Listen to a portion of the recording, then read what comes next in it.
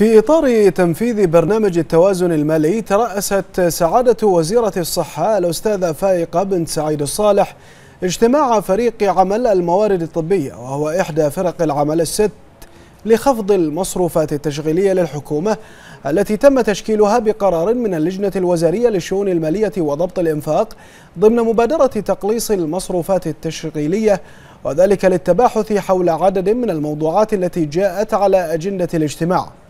وقد تم خلال الاجتماع تشكيل الفريق الفني لمساندة عمل الفريق حسب ما نص قرار اللجنة الوزارية للشؤون المالية وضبط الإنفاق لتشكيل فرق العمل الستة. واستعرض الاجتماع برنامج التوازن المالي والأهداف والنتائج المرجوة من تعزيز كفاءة الإنفاق الحكومي والإسهام في استدامة الأوضاع المالية واستقرارها بما يصب في استمرار تعزيز وتيرة التنمية لصالح الوطن والمواطن. كما ناقش الاجتماع آلية العمل التي يجب أن يسير عليها فريق عمل الموارد الطبية والتنسيق بين المعنيين بوزارة المالية حسب التعميم الصادر من اللجنة الوزارية للشؤون المالية.